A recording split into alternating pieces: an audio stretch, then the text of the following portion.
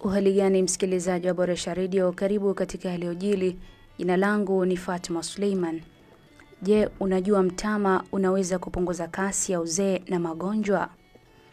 Mamilioni ya watu duniani hupoteza maisha kwa sababu ya magonjwa ya moyo, saratani na uzee. Kwa ugonjwa wa saratani pekee, shirika la afya duniani WHO linakadiria kuwa kufikia mwaka 2030 utapoteza maisha zaidi ya watu milioni moja barani Afrika kama hautadhibitiwa.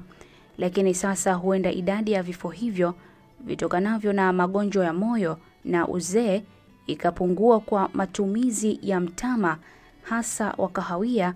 Kituo cha utafiti wa kilimo TARI TARI Longa nchini Tanzania kimegundua mbegu za mtama inaweza kupunguza magonjwa kama ya saratani, kisukari, magonjwa ya moyo na kupunguza kasi ya uzee.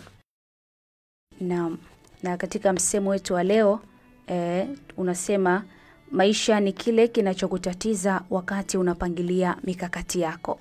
Sasa jitafakari, kitu gani ambacho kinakutia matata, basi usikiache, endelea kupambana nacho. Hicho ndio kitakuwa e, pengine ni mkombozi wa maisha yako. Imeandaliwa na kusomwa kwako nami Fatuma Suleiman na Boresha Radio. Tufuatilie zaidi kupitia mitandao yetu ya kijamii ikiwemo Instagram, Facebook na Twitter at Boresha Radio. Endelea kusikiliza vipindi vinavyoendelea hapa hapa Boresha Radio. Ulichokisubiri sasa kimejiri, na